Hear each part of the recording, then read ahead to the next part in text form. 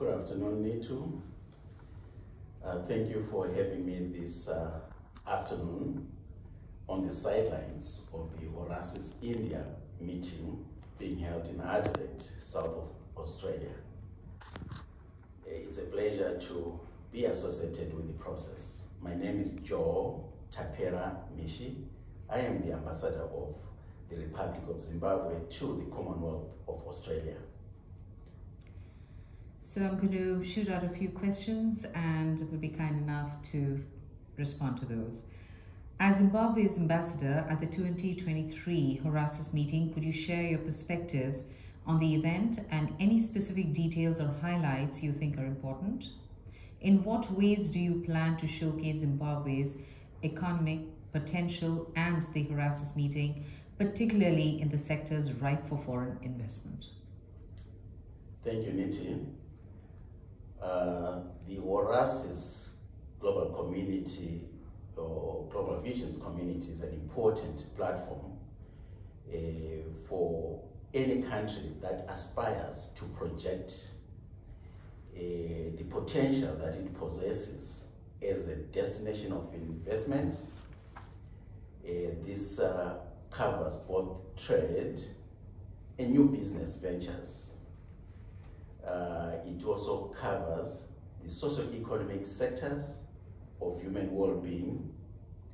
It is a platform, furthermore, that is very important for it, you know, for making those important contacts that augur well for you know demystifying the potential for individuals from different parts of the world to reach out together in the spirit of you know cultivating win-win business outcomes. In that context, uh, as a representative of Zimbabwe, the Horasis uh, meeting taking place in Adelaide uh, is, is giving me and has already given me immense opportunity to connect with persons that previously I'd never known. I have been able to identify those people with interest in the sectors of Zimbabwe's economy that hold potential for investors. I'll just give you a you know, highlight of some of these sectors. Zimbabwe is uh, traditionally known as the breadbasket of Africa and uh, a situation that uh, was dented uh, following the land reform program in Zimbabwe. In, naturally because you had to do some structural you know, uh, reorganization of the agricultural system in Zimbabwe. We had to, uh, you know, allocate land to new farmers. And I'm glad to say that program itself empowered as many as 360,000 households with access to land, where hitherto we only had a few, you know, privileged uh, individuals for some 4,600, you know, segment of the population owning as much as 95% of the land of Zimbabwe. Now, that land uh, sector in Zimbabwe is holding immense opportunity uh, that already is showing that Zimbabwe is on a trajectory to regain its traditional status as the breadbasket of Africa. Some quick highlights. Uh, since independence, Zimbabwe has never been known as an exporter of wheat. As I am talking now, the information on the ground is that only Zimbabwe and Ethiopia have wheat surplus on the African continent. Uh, I think we should be saying thumbs up to the Zimbabwe, to Zimbabwe's land reform program. Uh, again, the staple food of Zimbabwe is maize. And you know, from maize you produce the carbohydrate, uh, the sadza, as we call the traditional dish in Zimbabwe. And uh, as we are talking Zimbabwe again, it's in its third consecutive year of maize surplus. What does that say? It says uh, the land reform is delivering, uh, contrary to the uh, you know information peddled in some media that Zimbabwe uh, destroyed its economy because it carried out a land reform. Uh, the reality on the ground is showing that the land reform is given impetus not only to food security, sustainable food security in the country, but has also empowered, uh, you know, households at the community level. Uh, the rural communities are now empowered in Zimbabwe as not only landholders, but you know, self-sufficient producers of what that, of that which they need to, to sustain their families and also a bit to, to, to, to put on the market and gain some income. Now, interesting about land reform in Zimbabwe is that we are addressing food security at the household level. How are we doing that? We embraced what you call climate-proofed agriculture. Uh, this agriculture is actually saying we are going to have science as the basic ingredient for, uh, you know, guiding how we conduct our agriculture program in Zimbabwe, uh, which at the moment is under the national program called Land, that is called Agriculture Mechanization and Modernization. And uh, again, I want to say that um, we've addressed uh, food security at the household level through a presidential input support program for uh, households and also for commercial farmers.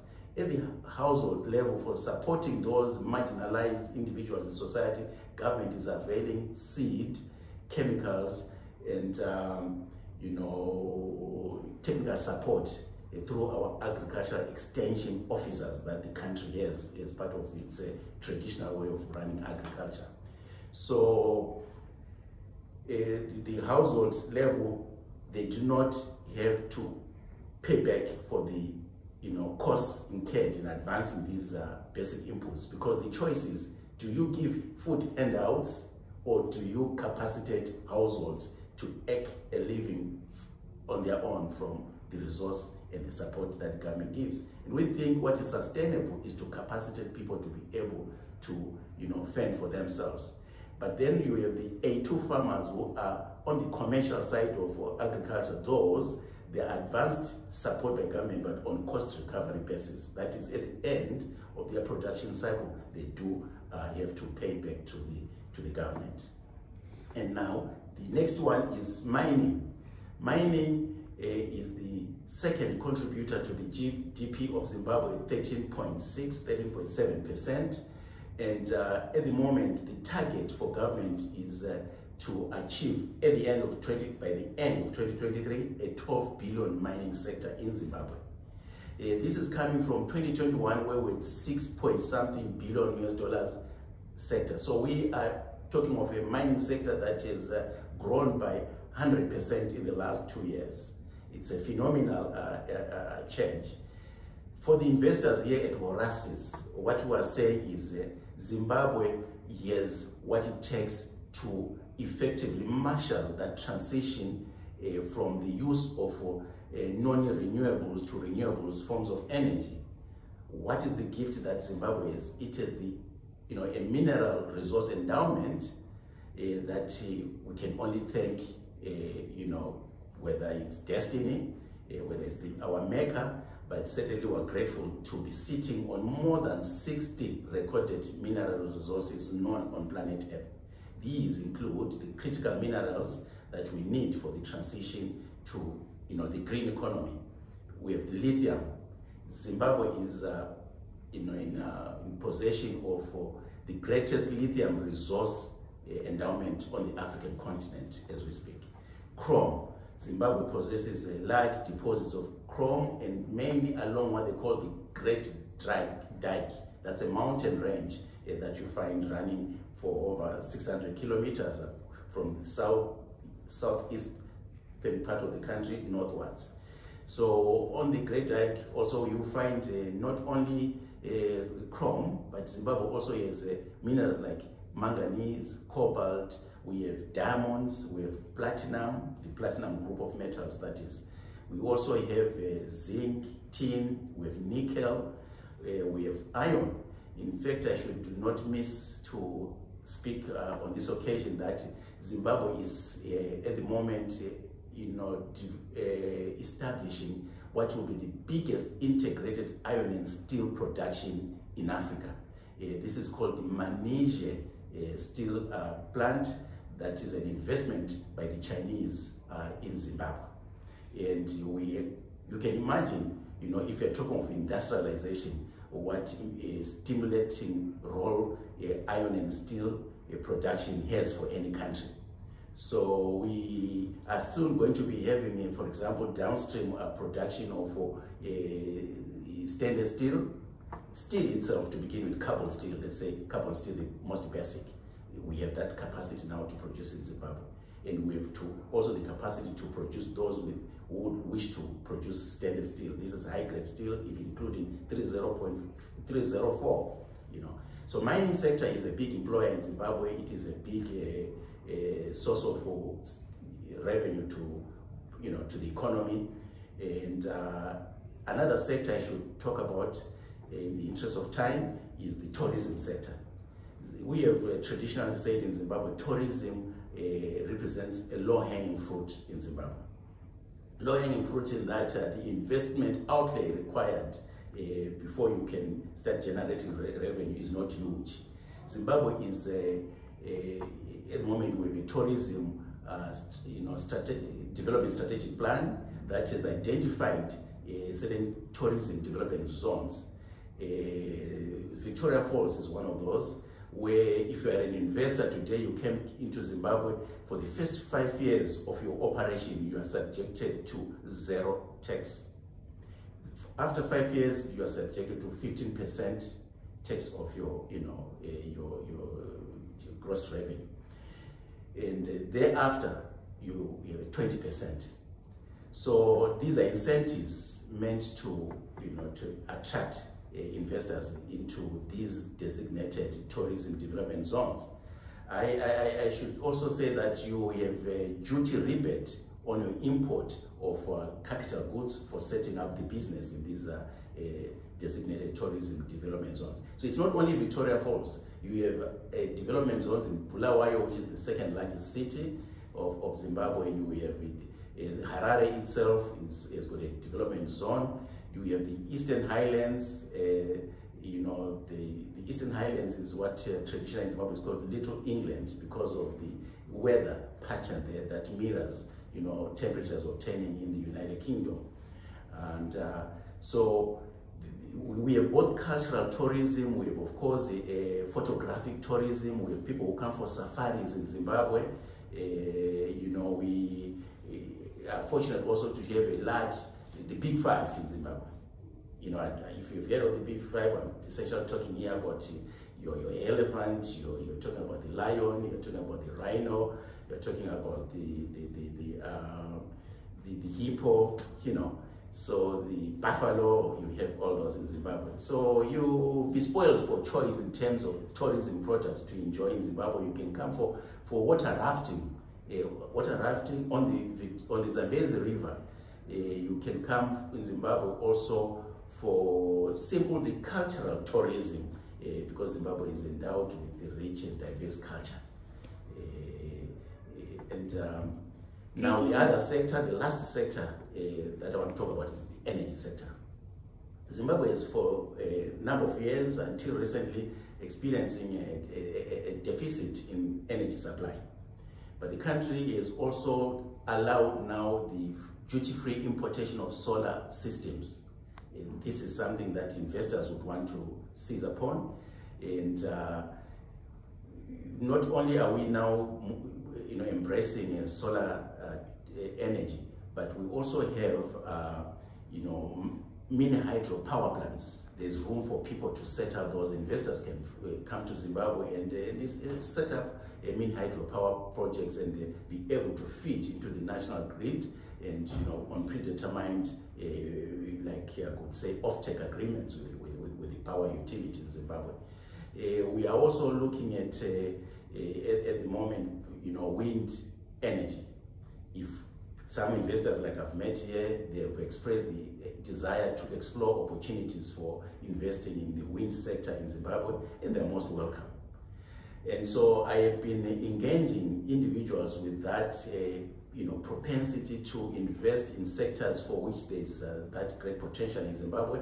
I have shared with them a, a brief on the economy of Zimbabwe and uh, they are going to be perusing, browsing through and while I'm still here, they have the, the, opportunity to come back to engage me and see how we take the process forward. So taking from what you just said, I mean, I understand there are huge opportunities. I mean, they're immense and the best is that there's a lot of government support to actually facilitate these uh, opportunities and partnerships. So, I mean, not everybody can find you. What is the best way that, what are your guidance in terms of how can they approach this? Who do they reach out to? Is there a trade, uh, common sort of a trade portal they can go on to? How, how do they even express their interest in the country?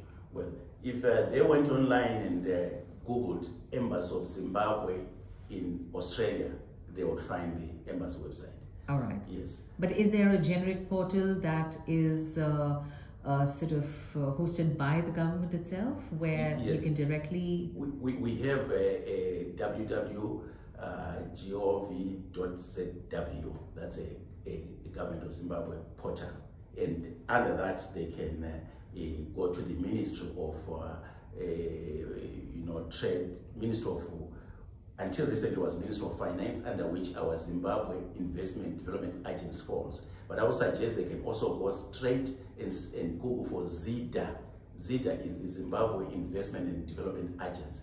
There they will find all the information they wish to access. There they will also be guided on how they can go about, you know, That's- bringing their investment into That's Zimbabwe. really helpful. That is Yes. really helpful.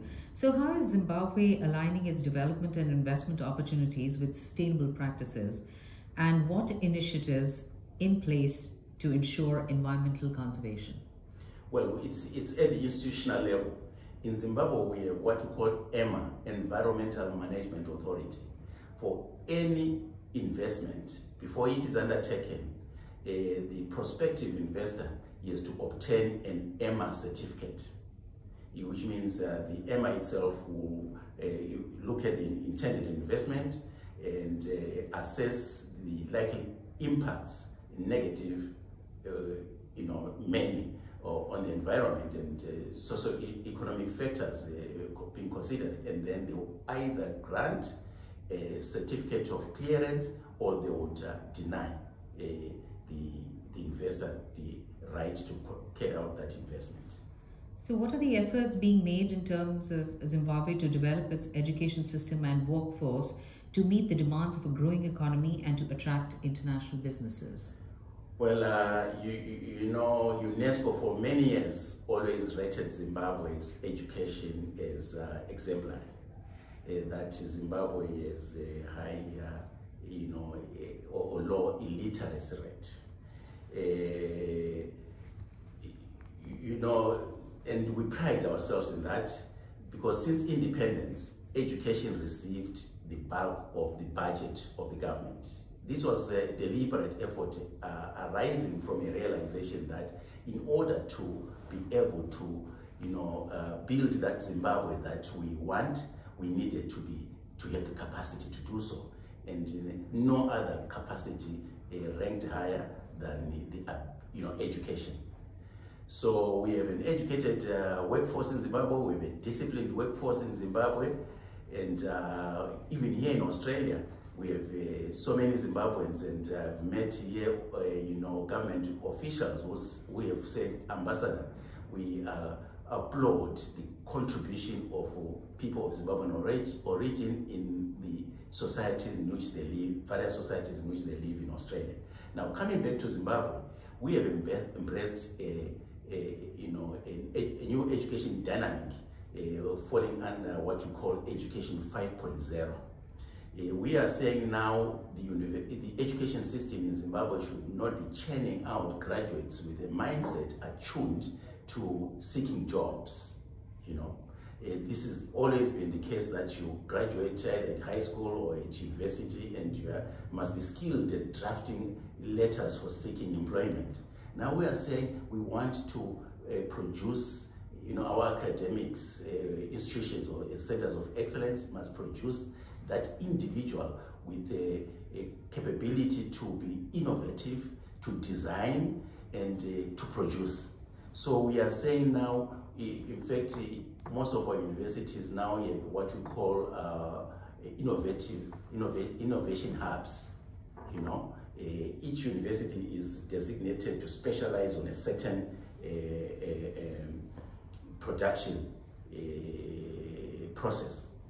For example, you have a university that is the center of excellence, uh, innovative hub, innovation hub for, for, for pharmaceuticals. Another one is in uh, livestock production, where already we're interested that our artificial insemination uh, program in Zimbabwe, at what you call the CAT, uh, abbreviation for Chinhoyi University of Technology, is, is a product of the university. Now we are now uh, you know, ex, uh, expanding livestock breeding program in Zimbabwe caters of this artificial insemination that comes from an innovative hub in Zimbabwe. So uh, that one, that's one way that we're ensuring that uh, our industry will be supplied with the requisite um, labor, a labor force that is proactive, that is an agent of change, both in terms of our aspirations for industrialization and modernization. So I understand that you've had a great meeting. As you said, you met some very interesting people. And I also believe that Frank said that you would be interested in taking Horasis to Zimbabwe. So um, how do you uh, think it's going to benefit the meeting going to Zimbabwe? How would it uh, affect uh, positively? What are your key goals that you're taking away? Thank you for that. Well, in Zimbabwe, we, we, we are running Zimbabwe, the, the, our development agenda under, among others, the philosophy or the mantra Zimbabwe is open for business. By being open for business, we are saying that uh, there is a room for global investors to find an investment niche in Zimbabwe. We are saying that uh, you know, the development process in Zimbabwe is room for uh, various players. And these opportunities that I spoke about, they need to be showcased. But one of the best ways of showcasing them, other than me meeting people here talking to them, is giving a potential investors an opportunity to visit Zimbabwe, to talk to business people in Zimbabwe, you know, so that at the end of the day, you have a B2B or business to business. Uh, that is the best way to go. Uh, when they engage the policymakers closer to the theater of investment, uh, they will get their answers and a better appreciation of the investment potential uh, that Zimbabwe is.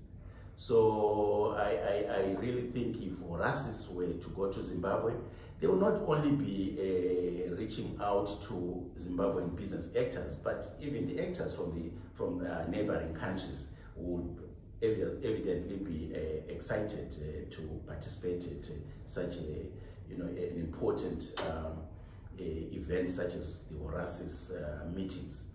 I mean, we have already hosted, for example, recently we hosted the African CEOs Forum uh, in, in Victoria Falls in Zimbabwe.